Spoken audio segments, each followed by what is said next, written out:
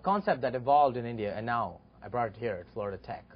It is a show where I'll bring in guests from Florida Tech, local people, and alumni, students, and we'll get to know them on a personal level. We'll get to know what they like, what they dislike, something that we didn't know before. It's a very personal show, and it's all full of entertainment, fun, enjoyment, and laughter. And all this will be over a steaming hot cup of coffee. Welcome to Koffee with Kevin.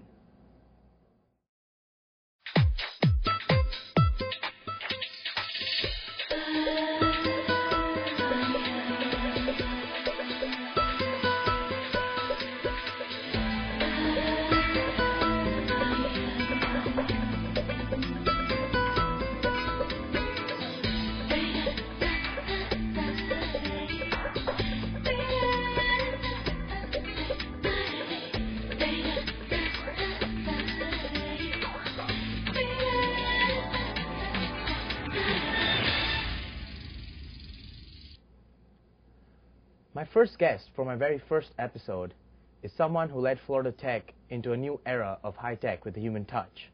And now he wants to take Florida Tech to a new level. It is my honor and my privilege to have a man of such stature. Please welcome Dr. Anthony James Catanese, the president of our university. Hello, how are you? Terrific. It's great to have you here. Please have a seat. Well, thank you for inviting me to your premiere show. I'm, yeah, I'm it is- honored. it is. As I said, it's an honor to have you here. It's definitely something uh, I would like to start the show with. Is someone, a man who Mm-hmm. I look up to, all the students look up to, in fact, and who actually leads from the front, as they say. So it's really nice to have you here. So let's relax over a cup of coffee and Yeah, have a little you. talk. You excited? you bet. I love your coffee. so, tell us a little bit about your childhood, where you're from, and you know uh, your high school years. Wow. Uh, I grew up uh, in uh, New Jersey, in New Brunswick, which was a college town. It was uh, where Rutgers University is located. And I went to Rutgers University uh, uh, in civil engineering. And then I sort of migrated to transportation planning and city planning. And then we had an interesting thing in those days called the draft. So uh, spent a little time uh, in the army, and then I uh, worked for the state of New Jersey for a while, and then went on to New York University for a master's degree in, in urban planning, and then to the University of Wisconsin for a PhD in uh, uh, urban planning, operations research, and uh, land economics. I was very interested in seeing if mathematical modeling, uh, computer simulations could solve urban problems, especially transportation, which was my real interest, and then urban development as well. Your major is pretty new uh, to Florida Tech, as uh, we don't have such a major here directly. We have civil engineering, but urban development is not that uh, prevalent here. So, you know, tell us a little bit about that major. You know, how that led to your career to becoming an administrator in universities. You're right. Uh, we have some fields that are close uh, to, to what I studied. Um, and certainly there are many parts of civil engineering that we have on campus. Uh, Professor Constantino, for example, uh, offers uh, a lot of coursework in transportation planning and urban planning. And then over in uh, DMES, we have a lot of work in coastal zone management, which for Florida is becoming uh, more and more important. And we have a brand new program starting this year in construction management. Uh, we're very excited about that. Uh, one of my hopes is as we move ahead, uh, I'd like to, us to develop a program in urban development, urban planning. Uh, okay, so tell us in your college life. This is the more serious part of the college we just talked about, but let's talk about the fun part that uh, everyone experiences, their college life. Tell us a little bit what you did for stu- you know uh, in your pastime besides doing your studies. What was your what were your activities? Well, those were different times, as you know, uh, and I'm, I'm almost hesitant to admit this, but uh, in those days, uh, they had freshman football. So if you were a freshman, you couldn't play on varsity or JV. You had to play on the freshman team. Um, in those days, they had early rush for fraternities. So I had actually become a member of the uh, Rutgers freshman football team pledged a fraternity and had played in a football game before I ever took a class at Rutgers University. so those were different times. Uh, we don't do that uh, anymore. So um, you talked about you pledged for a fraternity. Tell us a little bit about your Greek life. Uh, I thought it was a very valuable part of my college life.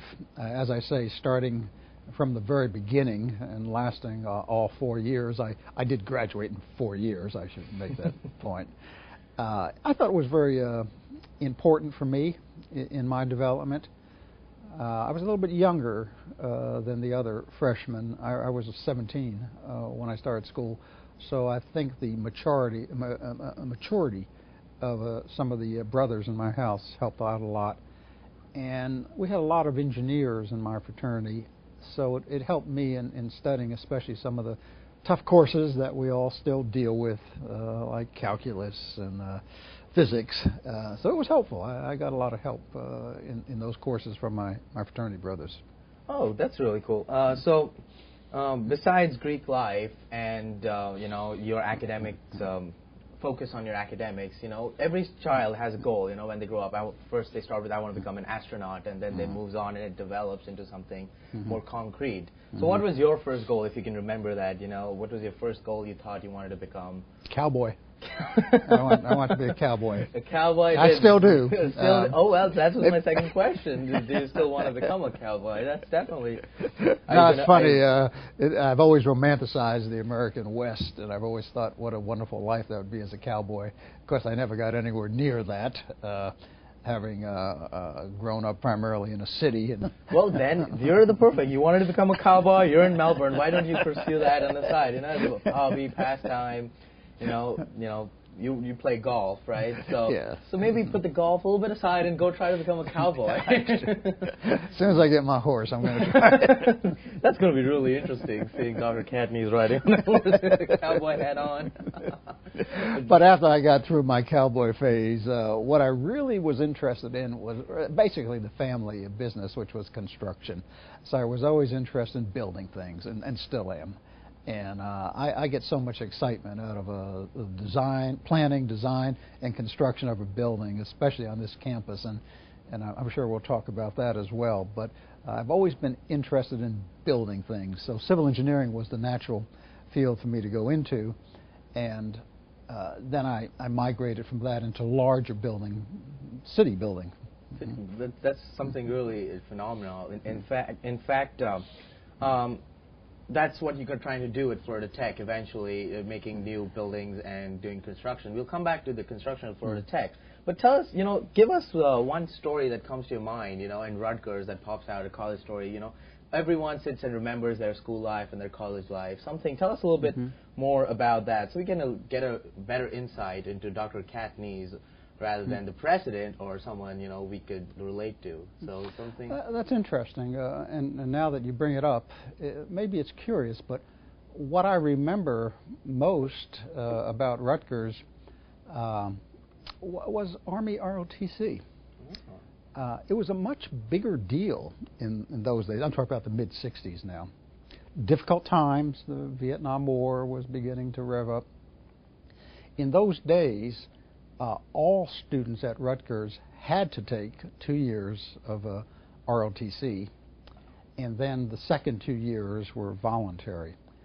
And I have such fond memories of my time in ROTC. It's something. The whole uh, idea is to you know find out more about you as a person. We all have seen you in action as the president, but you know mm-hmm. the whole idea is to get a better insight into you mm-hmm. as a person, and so the students can relate to you more uh, in this aspect. At this point, we're going to take a commercial break. We'll be right back. We'll find out which books Dr. Catanese have written and a little bit more about that. Still in conversation with Dr. Anthony James Catanese. Don't go anywhere.